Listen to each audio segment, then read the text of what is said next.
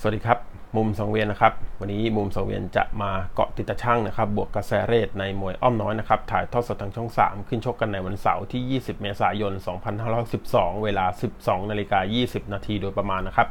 มุมสังเวียนก็เลยถือการนี้นะครับนำข้อมูลเกาะติดตาชั่งบวกกระแส rate มาฝากกับแฟนมวยทุกท่านนะครับ เพื่อเก็บไว้พิจารณาสำหรับการลงทุนกันนะครับ ก่อนอื่นนะครับก็ต้องขอฝากกับแฟนๆเอาไว้ด้วยนะครับสำหรับแฟนๆท่านใดที่รับชมและชอบนะครับ ก็ฝากกดติดตามแล้วก็กดถูกใจเพื่อเป็นกำลังใจที่ดีแก่กันด้วยนะครับ เราจะมาเริ่มการเกาะติดตาช่างกันเลยนะครับ โดยที่มวยอ้อมน้อยนะครับถ่ายทอดสดทางช่อง 3 ขึ้นชกกันในวันเสาร์ที่ 20 เมษายน 2512 เวลา 12นาฬิกา20 นาทีโดยประมาณนะครับ คู่ที่ 1 นี่เป็นมวยรอบแชมเปี้ยนแบบแชมเปี้ยนมาบินแบบน็อกเอาท์ครั้งที่ 6 นะครับ เป็นการเปิดตัวมวยรอบแชมเปี้ยนมาบินครั้งที่ 6 แบบน็อกเอาท์นะครับ รอบแรกเลยนะครับนัดแรกด้วยนะครับ ระหว่างฝ่ายแดงนะครับริจิตเมืองนนท์ส่วนฝ่ายน้ำเงินนะครับเพชรขุนหารปอเปาอินนะครับพิกัด 115 ปอนด์ โดยที่เมื่อเช้านี้ริดฝ่ายแดงนะครับมา 115.2ลดจุด2ส่วนฝ่ายน้ำเงินเพชรคุณหารนี่มา 116.2 ลดไป 1.2 นะครับคุณนี้ก็เป็นการเปิดตัวนัดแรกเลยนะครับแชมเปี้ยนมาบินแบบน็อกเอาครั้งที่ 6 นะครับ คนแพ้นี่ตกรอบกลับบ้านทันทีนะครับ คนชนะถึงจะมีโอกาสเดินหน้าต่อไปนะครับริจิตเมืองนนท์นี่ก็ฟิตซ้อมอยู่ที่ค่ายจิตเมืองนนท์จังหวัดนนทบุรีนะครับ โดยมี คุณสมจิตแว่นแก้วแล้วก็ซอเอสุนทีโลหะพืชนะครับ เป็นผู้จัดการหัวหน้าคณะ แล้วก็ดูแลการฟิตซ้อมนะครับ เป็นมวยถนัดขวา จังหวะฝีมือคล่องครบเครื่องหลักเหลี่ยมชั้นเชิงดีนะครับต้นๆนี้ถือว่าจัดมากนะครับ แต่ว่าท้ายๆนี่มียุบมีเหี่ยวให้เห็นอยู่เหมือนกันนะครับ สังเกตได้จากไฟสุดท้ายนะครับ ที่ชกกับทางด้านของไอ้เจ้าหนุ่มสุรินชอเกตวินานะครับหมดสี่ยกนี่ริดนี่เป็นต่อไปค่อนข้างจะเยอะเหมือนกันนะครับ ยกสุดท้ายนี่มาตั้งรับคุมเชิงนะครับ แต่ว่าคุมไม่อยู่ปล่อยให้ไอ้เจ้าหนุ่มสุรินนะครับ เดินบทเดินเบียดเดินบี้ประกบตี แล้วก็ล็อกล็อกลัดมัดตีนะครับ สุดท้ายแล้วก็เป็นทางด้านหนุ่มสุรินที่พลิกแซงเอาชนะไปได้นะครับท้ายนี่ริดดูแล้วพละกำลังท้ายไม่ค่อยดีเท่าไหร่นะครับ ฟอร์มสุดท้าย 3 ฟอร์มหลังนี่ก็ยังไม่ชนะกันเลยแพ้รวดเลยนะครับ แต่ว่าได้กระดูกมวยเบอร์มวย แล้วก็หน้าเสื่อดีนะครับ วันนี้ ส่วนฝ่ายน้ำเงินเพชรขุนหานี่ฟิตซ้อมอยู่ที่ค่ายปอเปาอินนะครับ โดยมีผู้พันประจวบเปาอินนะครับ เป็นผู้จัดการแล้วก็หัวหน้าคณะนะครับ เป็นมวยถนัดขวาเช่นเดียวกันนะครับ จังหวะฝีมือคล่องครบเครื่องนะครับ วงนอกก็มีแข้งแล้วก็หมัดวงในมีไล่แขนมีขวางหน้าแล้วก็ค้ำเสียบค้ำแทงนะครับฟอร์ม3 3ฟอร์มหลังนี่ต้องบอกว่าสดมากชนะรวดเลยนะครับ วันนี้นี่ rate นะครับมาดู rate กันก่อน rate เปิด ล่าสุดนะครับลิสฝ่ายแดง 3-2 เลยนะครับ เปิดอยู่ที่ลิส3-2 นะครับ เนื่องจากว่ากระดูกมวยเบอร์มวยดีกว่า แล้วก็ค่ายจิตเมืองนนท์ที่เวทีอ้อมน้อยต้องบอกว่าหน้าเสื่อค่อนข้างดีนะครับ ชกกับใครนี่ไม่เสียเปรียบแน่นอนเรื่องสภาพแวดล้อมสภาพหน้าเสื่อเลทเปิดอยู่ที่ริทสามสองนะครับล่าสุดคู่นี้นะครับแนะนำแฟนมวยนิดนึงนะครับ ต้นๆนนะครับต้นๆเล่นแบบได้เปรียบนะครับต้นๆนี้เข้าริทไปก่อนเลยนะครับเข้าริทไปก่อนเลย 3 ยกผ่านไปนะครับ ราคาดีๆ บังทุนทันทีเลยนะครับ เนื่องจากว่าริทท้ายๆนี่มียุบมีเหี่ยวมีย่นให้เห็นอยู่บ่อยครั้งนะครับสามฟอร์มหลังก็แพ้รวดเลยฝ่ายสุดท้ายก็ชกไว้ไม่ดีด้วยนะครับ ถ้ามีราคานี่บังทันทีเลยนะครับ เพราะว่าโอกาสที่ทางด้านของเพชรคุณหารเบียดจะเบียดพลิกกลับมาแซงเอาชนะได้ก็มีโอกาสค่อนข้างที่จะเป็นไปได้เลยทีเดียวนะครับ เพราะว่า ไอ้เจ้าเพชรขุนหารนี่มวยฟอร์มสดมาก 3 ฟอร์มหลังยังไม่แพ้ใครเลยนะครับ กระดูกมวยอาจจะดูเป็นรอง แต่ว่าเรื่องร่างกายดูดีกว่านะครับ เพราะว่า 3 ฟอร์มหลังนี่ชนะรวดเลยฟอร์มสดมากๆนะครับริท rate ล่าสุดนะครับริทฝ่ายแดง 3-2 ต้นๆเข้าไว้ก่อนได้เปรียบนะครับ ขยับขยายง่าย แนะนำให้แฟนมวยเข้าไว้ก่อนเลยนะครับ แล้วก็มีราคานี่บังทุนทันทีกิน 2 ข้างนะครับ แล้วก็ดูการชกบนเวทีประกอบนะครับ เพราะว่าโอกาสที่ทางด้านของฝ่ายน้ำเงินเพชรขุนหารที่จะพลิก แซงกลับมาชนะเอาชนะได้ก็มีนะครับ เพราะฉะนั้นมีราคาบังทุนทันทีนะครับ ดูการชกบนเวทีประกอบ ต้นๆนนี้เข้าแดงไปก่อนนะครับ แล้วก็หาจังหวะขยับขยายกิน 2 ข้างเลยนะครับ ขยับมาดูกันคู่ที่2นะครับ เป็นการตัดเชือกนะครับ มวยรอบแม็กซี่ซูเปอร์ไฟท์ครั้งที่4นะครับ คนชนะนี่จะเข้าไปชิงชนะเลิศกับทางด้านของมาลายเงินสอมาลายทองทันทีนะครับ เนื่องจากว่าสัปดาห์ที่ผ่านมานะครับ มาลายเงินมาลายสองมาลายทองนี่ตัดเชือกเอาชนะคะแนนทางด้านโชควิทยาพุ่มพันม่วงไปยืนหล่อชิงชนะเลิศแล้วนะครับ วันนี้ คู่นี้นะครับ ถ้าใครชนะจะเข้าไปชิงชนะเลิศกับมาลายเงิน2มาลายทองทันทีนะครับ ระหว่างฝ่ายแดงนะครับซันเดย์บูมเด็กเซียน ส่วนฝ่ายน้ำเงินก็คือหนุ่มสุรินชอเกตวีนานะครับพิกัด 113 ปอนด์นะครับ โดยที่เมื่อเช้านี้ฝ่ายแดงซันเดย์นี่มา 113.4 ลดจุด4ส่วนฝ่ายน้ำเงินหนุ่มสุรินนี่มา 113.1 ลดไปจุด1นะครับคู่นี้ก็ซันเดย์ก็ฟิตซ้อมอยู่ที่ค่ายต่อหลัก2นะครับโดยมีพรบางว่าเป็นผู้จัดการ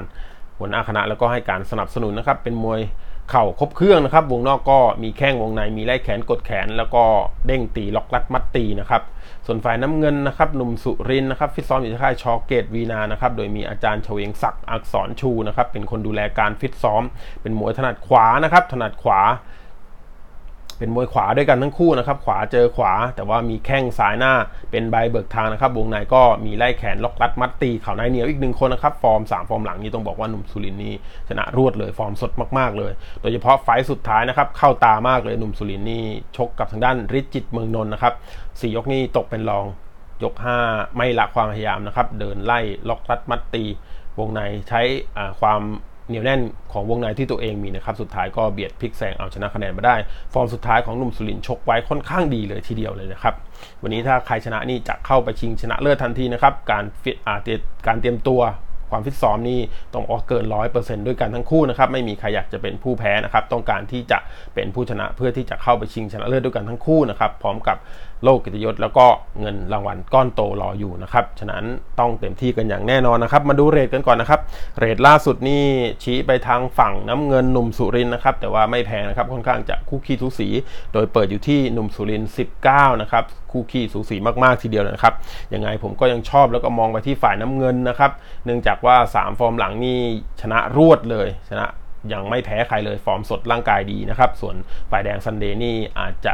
มีสะดุดแพ้อยู่หนึ่งไฟต์แต่ฟอร์มก็ถือว่าใกล้เคียงกันนะครับ แต่ฟอร์มดูแล้วเป็นรองทางด้านของฝ่ายน้ำเงินหนุ่มสุรินนะครับ ที่สำคัญเข่าในเหนียวปอดใหญ่ปลายแรงนะครับ เดินได้ยัน 5 ยกเลยไฟสุดท้ายนี้ชกไว้ค่อนข้างจะเข้าตาทีเดียวนะครับเลดเปิด 19 อยู่ที่ฝ่ายน้ำเงินหนุ่มสุรินนะครับยังไงก็มองไปที่ฝ่ายน้ำเงินนะครับหนุ่มสุรินชอเกตวีนาท้ายๆน่าจะอาศัยวงในที่ดูแล้วเหนียวแน่นนะครับเบียดเอาชนะคะแนนพร้อมกับเข้าไปชิงชนะเลิศได้สำเร็จนะครับแพ้ชนะยังไม่รู้นะครับแต่ว่ามองไปที่ฝ่ายน้ำเงินหนุ่มสุรินชอเกตวีนา ขยับมาดูกันคู่ที่ 3 นะครับ เป็นการชิงแชมป์ว่างนะครับ รุ่นเวลเตอร์เวทเวทีอ้อมน้อย 147 ปอนด์นะครับโดยที่ฝ่ายแดงนะครับ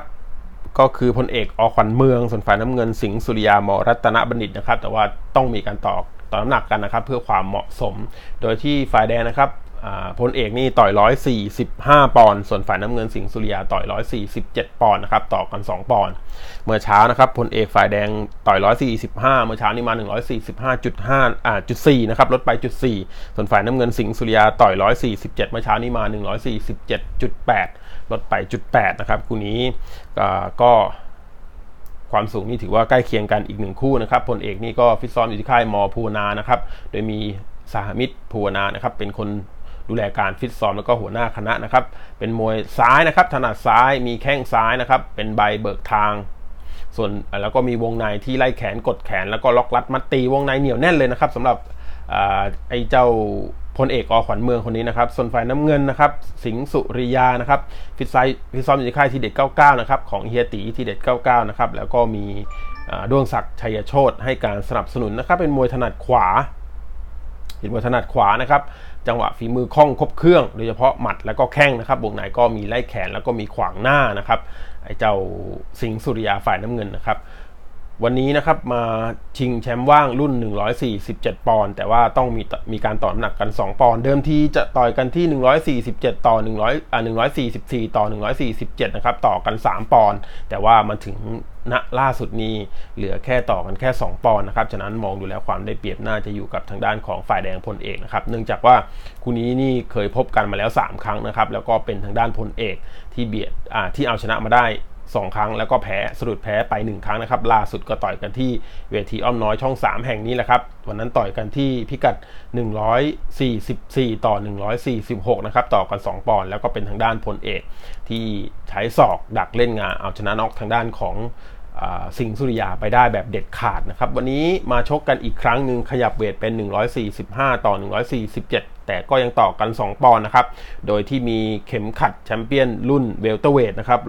147 ปอนด์เป็นเดิมพันนะครับ ยังไงนะครับ ผมก็ชอบไปที่ฝ่ายแดงนะครับพลเอก ดูแล้วเข่าในเหนียวแน่นกว่านะครับ จังหวะฝีมือ ครบเครื่องก็เป็นทางด้านฝ่ายน้ำเงินนะครับ สิงห์สุริยา แต่ว่าพอประกบวงในไปแล้ว ผมมองว่าพลเอกทำได้ดีกว่านะครับ เพราะว่าเป็นมวยเข่าในอาชีพนะครับท้ายๆมองดูน่าน่าจะดีกว่านะครับ เรทก็ยังเชื่อนะครับ เชื่ออยู่ที่ฝ่ายแดงนะครับพลเอกเปิดอยู่ที่ 54พลเอกนะครับก็ยังชอบแล้วก็มองไปที่พลเอกอขวัญเมืองนะครับ ต้นๆอาจจะดูคู่ขี้สูสี แต่ว่าท้ายๆมองว่าเข่าในเหนียวแน่นกว่าน่าจะเฉือนเอาชนะคะแนนไปได้นะครับ แพ้ชนะยังไม่รู้แต่ว่าชอบไปที่ฝ่ายแดงพลเอกอขวัญเมืองเลดเปิด 5-4 อยู่ที่ฝ่ายแดงพลเอกอขวัญเมืองนะครับ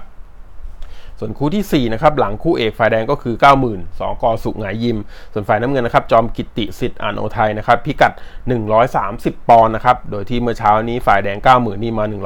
130 ปอนด์พอดีเท่าพิกัดไม่ต้องไม่ต้องลดนะครับ ส่วนฝ่ายน้ำเงินจอมกิตินะครับมา